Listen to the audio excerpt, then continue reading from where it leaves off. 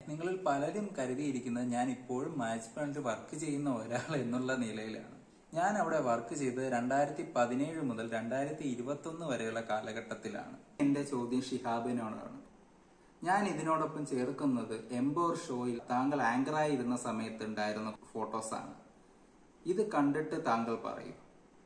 താങ്കളുടെ വീൽ ചെയറിൽ ഉപയോഗിച്ച് തന്നെയാണ് ഷോ ചെയ്യുന്നത് എന്ന് ഞാൻ പറഞ്ഞിരുന്നു. എംബോർ ഷോ എന്ന് പറയുന്ന ഷോ അവിടെ ഇപ്പോഴും ഉണ്ട് അതേ ഷോയിൽ അന്ന് അവതരിപ്പിച്ചിരുന്ന അതേ കുട്ടികൾ തന്നെയാണ് ഇപ്പോഴും ആ ഷോ അവതരിപ്പിച്ചുകൊണ്ടിരിക്കുന്നത്. അവിടേക്കുള്ള പ്രവേശനം തികച്ചും സൗജന്യമാണ്. നിങ്ങൾ ഒരു രൂപ പോലും അവിടെ കൊടുക്കേണ്ട ആവശ്യമില്ല. ഞാൻ പറയുന്ന ഈ സാറിനെ ഇങ്ങനെ പറഞ്ഞ് എന്തെങ്കിലും സംഭവിച്ചു എന്റെ കുഞ്ഞനാഥയായ അത് വെറുതെ പോവില്ല. ഞാൻ അത്രേ പറയാറുള്ളൂ. അത് നിങ്ങളോട് ഞാൻ രണ്ട് വാക്ക് പറയാൻ വേണ്ടിയിട്ടാണ് വന്നത്. ഇവിടെ വന്ന് രണ്ടായിരത്തി പത്തൊമ്പത് ഒക്ടോബറിൽ വന്നത്. ഇവിടെ വത്തിയതിന് ശേഷം എന്റെ മോന് ആ സാറിന്റെ ഒരു പരിഗണന അവൻ ഇപ്പോഴും ഉണ്ട് എപ്പോഴും ഉണ്ട്. എനിക്ക് ഇന്ന് വരെ നല്ലതല്ലാതെ എന്റെ മോനെ അറിയപ്പെടുന്ന ലോകം അറിയപ്പെടുന്നതെന്ന് എന്നെ പറയാം. അറിയപ്പെടുന്ന ഒരു മകനാക്കിയത് നല്ലൊരു പാട്ടുകാരനാക്കിയത് ഞാൻ ഇവിടെ വന്നതിന് ശേഷം ആ മുതുകാട് സാറാണ്. ആദ്യം വന്ന ചിത്ര ഉൾപ്പെടെ അമ്മമാരുൾപ്പെടെ എല്ലാവരും അവസാനം വന്ന ഷിഹാബ് വരെ ഞങ്ങൾക്കറിയാവുന്നവർ തന്നെയാണ്. അപ്പം ഞങ്ങളിപ്പോ രണ്ടായിരത്തി പതിനേഴ് ഒക്ടോബർ മുപ്പത്തൊന്ന് തൊട്ടാണ് ഇവിടെ മാജിക് പ്ലാന്റിലെ എംപവർ എന്ന് പറഞ്ഞൊരു തിയേറ്റർ തുടങ്ങുന്നത്. അഞ്ച് ഭിന്നശേഷി കുട്ടികളുമായിട്ട് തുടങ്ങിയതാണ്. അപ്പൊ അതിൽ ആങ്കർ ചെയ്യാനായിട്ടാണ് ഷിഹാബ് വന്നത്. ആ കുട്ടികളെ കോർഡിനേറ്റ് ചെയ്യുക എന്നുള്ളതായിരുന്നു ഷിഹാബ്. അപ്പൊ അതിൽ ഷിഹാബ് പറയുന്നത് മെയിനായിട്ട് കുട്ടികൾക്ക് സമയത്തിന് ഭക്ഷണം കിട്ടുന്നില്ല. അവർക്ക് ഒരുപാട് ഷോ ചെയ്യുന്നുണ്ടെന്നുള്ളതാണ് ഈ പറഞ്ഞത് മൂന്നും ആരോപണങ്ങൾ മാത്രമാണ്. കാരണം ഷോസ് കൂടുതലും രണ്ട് ഷോ തന്നെയായിരിക്കും മിക്ക ദിവസങ്ങളിൽ പിന്നെ വരുന്നത് ആഹാരത്തിന്റെ കാര്യം. ആഹാരത്തിന്റെ കാര്യവും കൃത്യസമയത്ത് തന്നെയാണ് ഇവിടെ രണ്ട് ഷോ ഒക്കെ വരികയാണെങ്കിൽ ഒന്ന് രാവിലെ ആയിരിക്കും അല്ലെങ്കിൽ ഉച്ചയ്ക്ക് ആയിരിക്കാം അപ്പം മിക്കവാറും ആഹാരം കഴിക്കാനുള്ള സമയം അവർക്ക് ഉണ്ടാവും പിന്നെ ഇടയ്ക്ക് ഇതുപോലെ ഒരു മണിക്കൊരു ഷോ വന്നു കഴിഞ്ഞാൽ ചെയ്യാൻ അവർ തയ്യാറാണ്. എന്ന് പറഞ്ഞാൽ അവരെ പട്ടിണി കിടുകയോ അങ്ങനെയൊന്നും അല്ല. ഇവിടെ അതിനു വേണ്ടിയുള്ള പീഡനം ഒന്നും നടന്നിട്ടില്ല. ഞങ്ങൾ രണ്ടായിരത്തി പതിനേഴിൽ വന്നവരാണ് ഇന്നിപ്പോ രണ്ടായിരത്തി ഇരുപത്തിനാലായി അപ്പൊ ഇത്രയും നാളെ ഞങ്ങൾ ഇവിടെ കുട്ടികളോടെ നിൽക്കണമെങ്കിൽ അപ്പൊ ഞങ്ങളുടെ മുഖത്തുള്ള ചിരി കാണുമ്പോൾ തന്നെ നിങ്ങൾക്ക് അറിയാൻ പറ്റും. ഞങ്ങൾ സന്തോഷത്തിലാണോ അല്ലയോ എന്നുള്ളത്. ഞാൻ ചോദിക്കട്ടെ ആദ്യം പരാതിയായിട്ട് വന്ന ചിത്ര എന്നുള്ള അമ്മയാണ്.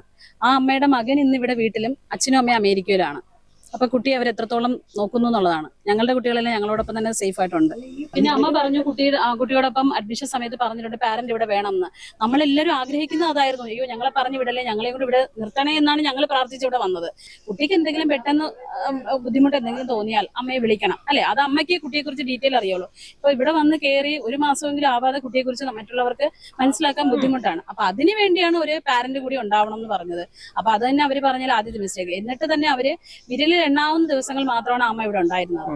പോകാനുള്ള കാരണം അനിയനുണ്ടായിരുന്നു കൂടെ. ശിവ ശിവന്റെ അനിയൻ. വന്നപ്പോ, ഉം, അതായത് നമ്മൾ ഷിഹാബിനെ വിളിക്കുന്നത്. എടുത്തുകൊണ്ടാണ് അവൻ കൊണ്ടുവരുന്നത്. ഇല്ല, അപ്പൊ സാറിന്റെ ചോദിച്ചു ഒരു ജോലി കൊടുക്കാമെന്ന് ചോദിച്ചപ്പോ സാർ വന്നു അപ്പൊ സ്റ്റേജിൽ സഹായിക്കാൻ വേണ്ടി ജോലി കൊടുത്തായിരുന്നു. എംപവറിൽ ഫണ്ടാസിയ എന്ന് പറഞ്ഞ ഡിവിഷൻ വലിയ തിയേറ്റർ ഉണ്ട്. അപ്പൊ അവിടെ സാധനങ്ങൾ കൊണ്ടുവയ്ക്കാനും ഡാൻസിനും ഒക്കെ സൂപ്പറായിട്ട് ജോലി കൊടുത്തു പക്ഷെ അവിടെ ഒരു ഒരു മണിപ്പൂരി കുട്ടിയുണ്ടായിരുന്നു. ആ കുട്ടിയായിട്ട് ഭയങ്കര ഇതായിരുന്നു. റൂമിൽ കൊണ്ടുപോണൊക്കെ ക്യാമറ കണ്ടു.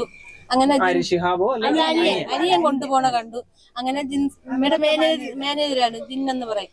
ജിൻസാറുണ്ട് അപ്പൊ ജിൻസാറൊക്കെ എന്തൊരു അപ്പോഴും പ്രശ്നമായി? ക്യാമറയിലൊക്കെ നോക്കി കണ്ട് ക്യാമറയിലുണ്ടെന്ന് പറഞ്ഞു ഭയങ്കര പ്രശ്നമായി. അപ്പോഴ് സാർ ചെന്ന് പറഞ്ഞു അങ്ങനെ അനിയനെ പറഞ്ഞു വിടുന്നു പറഞ്ഞപ്പോ അപ്പോഴേ പറഞ്ഞു ഇവിടുന്ന് ഇറങ്ങി പറഞ്ഞു വിട്ട സാറിന് ചീത്ത പേരുണ്ടാക്കുമെന്ന് ആദ്യമേ പറഞ്ഞിട്ടാ ഇവിടുന്ന് പോയി അതാണ് സാറായിട്ടുള്ള ദേഷ്യം വരാൻ കാരണം അതാണ് ഒന്നാമത്തെ. പക്ഷെ ഞങ്ങൾ ചോദിക്കുന്നത് അതാണ്. ഞങ്ങളുടെ കുട്ടികൾക്ക് അത്രയും പീഡനമായിരുന്നെങ്കിൽ ഞങ്ങളെ കുട്ടികളോട് കാണിച്ച ആത്മാർത്ഥതയായിരുന്നെങ്കിൽ എന്തുകൊണ്ട് ഷിഹാബ് അപ്പൊ പോയപ്പോ ഇത് പുറത്തു വിട്ടില്ല? എങ്കിൽ പിന്നെ നൂറ് കുട്ടികളെയും വീണ്ടും ഇരുന്നൂറ് കുട്ടികളെയും മുന്നൂറ് കുട്ടികളെയും സാർ എടുക്കും പൊതുസമൂഹം അറിയുമായിരുന്നല്ലോ. ഞങ്ങൾക്ക് ആവശ്യമുള്ള കുട്ടികൾക്കും ഞങ്ങൾക്കും ആവശ്യമുള്ള എല്ലാം ഇവിടെ ഉണ്ട്. രാവിലെ വീട്ടിൽ നിന്ന് ഇറങ്ങി റോഡിൽ നിന്നാൽ മതി അമ്മമാരെ വണ്ടിയിൽ കയറ്റി ഇവിടെ വരുന്നു. മൂന്ന് റൂട്ടിലോട്ട് ബസ് ഉണ്ട്. ഞങ്ങളുടെ മക്കൾ സ്റ്റാഫാണ് ഇവർക്ക് ഇങ്ങോട്ട് സാലറി കിട്ടിയാണ് അവർക്ക് സ്റ്റൈഫൻഡ് ഇനത്തിൽ ഇവർക്ക് നല്ല സാലറി കിട്ടുന്നുണ്ട്. ഡി എസ് ട്രെയിനേഴ്സിന് സ്റ്റൈഫൻഡ് ഇനത്തിൽ എമൗണ്ട് കൊടുക്കുന്നുണ്ട്. ഒന്നാം തീയതി ദിവസം നമ്മളെ മക്കളെ അക്കൗണ്ടിൽ സാലറി വന്നിരിക്കും. ഈ ഈ പറയുന്ന ആരെങ്കിലും ഒരാൾ നമ്മുടെ കുട്ടികൾക്ക് വേണ്ടിയിട്ട് എന്തെങ്കിലും ചെയ്യുന്നുണ്ടോ? ഇല്ല.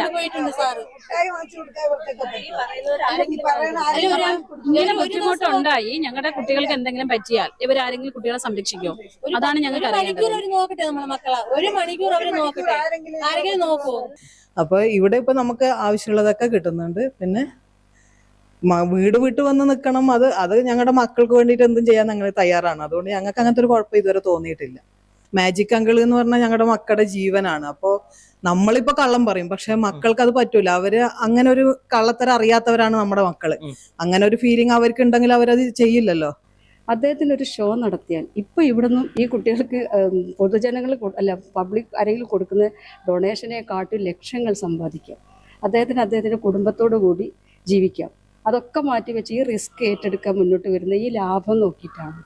അതിലൊക്കെ ഒരു ഒരു പറയുന്നതിനൊരു ലോജിക്ക് വേണ്ടേ?